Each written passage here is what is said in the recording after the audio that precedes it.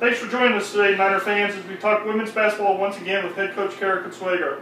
In an effort to put an end to this past season and look forward to next year, we'll only touch on a few highlights because otherwise we'd be here all day listening to all the accomplishments and achievements made by the 2012-13 Charlotte women's basketball program.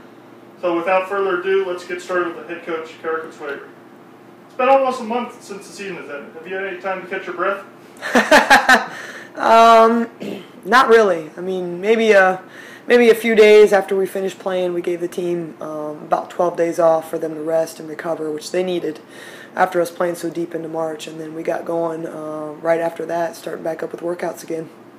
Uh, looking back at the season, how do you put into words your thoughts on everything that was accomplished?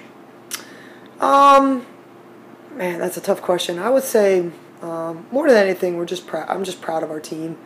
Um, you know, a lot of people want to give credit to a lot of different people for the type of season that we had, but I, I certainly think that most of the credit, if not all the credit, goes to our players. Uh, they bought in, they worked really hard, um, they cared about our team and what we wanted to accomplish, and um, everything fed off them. And so I'm just so proud of the accomplishments that they've had as individuals and as a team, and uh, really happy that they've been able to leave their mark as one of the best teams to ever play here at Charlotte. Three players who helped put the season on their backs this season were the seniors, Amanda Dow, Jay Forney, Jennifer Haley, who leave as the winningest class in program history. You were only their coach for two years, but what about them made your job easier? I think the thing about them that, that made my job easier is that they um, they bought in and uh, they believed in my vision and, and our staff's vision and, and what we needed out of them. And uh, we stretched them, we, we pushed them. And we needed them to become leaders for this team this year, which I would say that all, all three weren't particularly comfortable doing. But they believed in us and they, they um, understood that it was necessary for us to have a good year, and they were willing to do whatever it took. Um, they really taught our team a will to win. They played like seniors should play you know, with a chip on their shoulder, with a with an un, unrelenting will to want to get win games. And you know, when you have players that play like that, you know, obviously strategy matters and X and O matters, but when you have players, especially seniors that play like that, it makes your job a lot easier. Speaking of Jennifer Haley, wow, what a year she had. Earned an All-America honor, was named the Atlantic 10 Player of the Year, pretty much dominated in every game this season. What does a year like that mean to this program moving forward? Well, I think it's great because it just shows um, what this this program, what this staff is capable of doing with individual players, and certainly that's not our focus. Um, you know, our, our, biggest focus is to is to win games for Charlotte and um, get into the postseason, and team accomplishments is what matter most to us.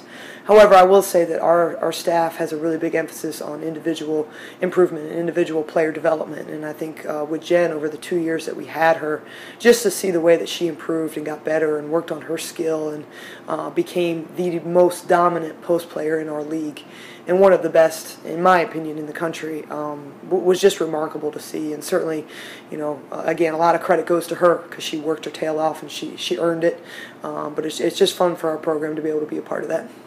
As a former guard yourself, let's talk about the perimeter players a little bit. First, Nye Hammond stepped into the point guard role for, for a whole season for the first time as a collegian. What is you, how much did her development throughout the season enhance the team on the floor? Oh, it was uh, absolutely crucial. Uh, without Nye stepping up and becoming the point guard that we needed her to be, there's no way we win 26 games or, or accomplish half of what we accomplished this season. Uh, the thing about Nye is we always knew it was in her. Um, she's a skilled player. She's a capable player, very smart basketball IQ uh, has all the intangibles that you want in a point guard, and it was just a matter of her really coming into her own and, and developing the same confidence in herself that the coaching staff had in her. And you could see that blossom throughout the season. I mean, she worked hard throughout the summer to come into this season. Um, as our starting point guard, she made it an easy decision for me to put her in the lineup, and then she continued to earn that with her play and with her, um, her just attitude and, and leadership with this team. Another key perimeter player was Hillary Sigmund as a threat from three-point territory as a coach, how comforting is it to have weapons like that so teams were able to strictly focus on the low block? Yeah, it was really important for us. I mean, um, you know, each player on our team, they know their roles and they know the importance of their roles, and certainly you don't want to take away from anybody. But um, Hillary was big in terms of her ability to knock down the, the three and, and extend the defense and being somebody that the defense won't help off of. Um, you know, without her being that threat, it would have made it certainly much more difficult for Jen and Amanda down low. Um, and, and I thought Hillary had a fantastic season as a sophomore. She was pretty consistent consistent.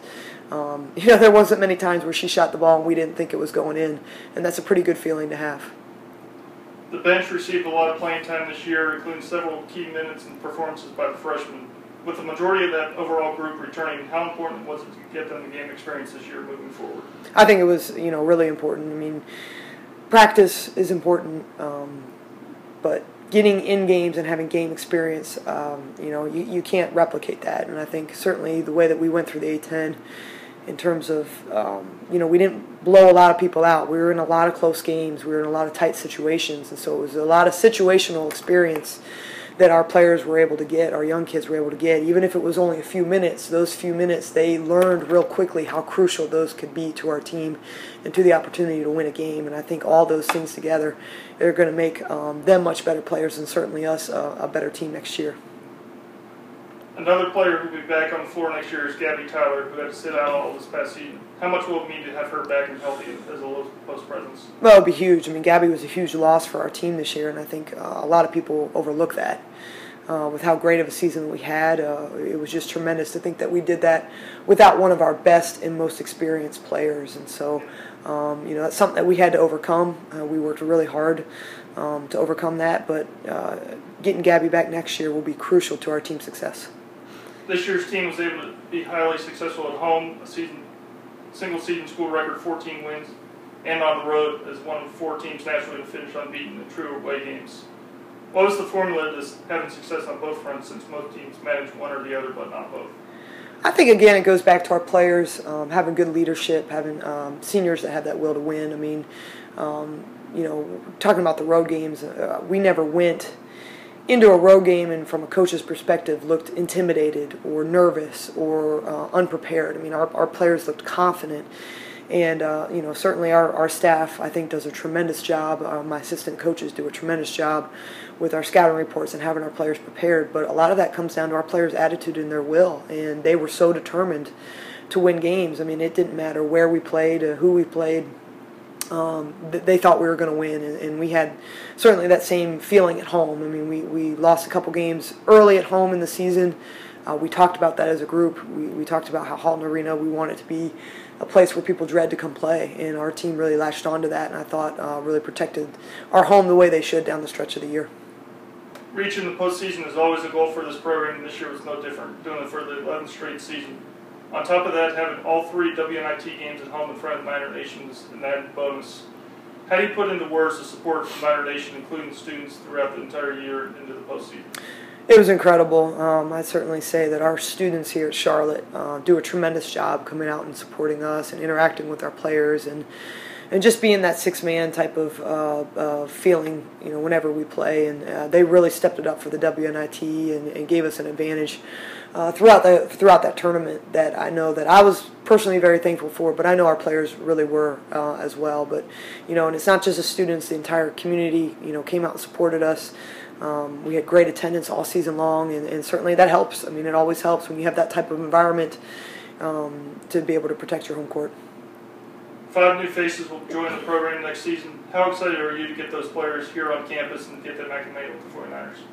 we're very excited. I mean, we're we're thrilled about the recruiting class we're able to sign. I think we were able to we were able to bring in a lot of things that will that we needed, um, that that we had big needs for, and, and, certainly talented players. I mean, we're going to be young next year, so I'll tell uh, tell Niner Nation right now, be patient with us early, uh, but we're going to have a lot of talent, and it's just going to be a matter of us getting that talent together, um, getting everybody on the same page, and, and moving forward. And you know, I think it's still going to be a really exciting team to watch play. Any final thoughts on the year and looking forward to next year? Well, you know, it's just, again, it was a year that was so exciting and, and, and so much to be proud of. And uh, one that I know personally I'll probably never forget as a head coach the sacrifices that our players made to have one of the best seasons in our history, and for that I'm so thankful for. And um, you know, we'll always remember that. But certainly, you know, looking forward to next season and continuing to build. Um, this program, uh, build on the tradition that we've had, build on you know what we're trying to do here as a staff going into my third season. I, I think it's going to be really exciting and we'll be different. You know, obviously with who we lost and Jen and Amanda and Jay, we're going to look a lot different. But that's the challenge of it and that's the fun, and, and certainly we're looking forward to that. All right, thank you for your time today, Karen. And we look forward to more updates in the offseason leading up to the program's return to Conference USA next fall. Thanks, Travis.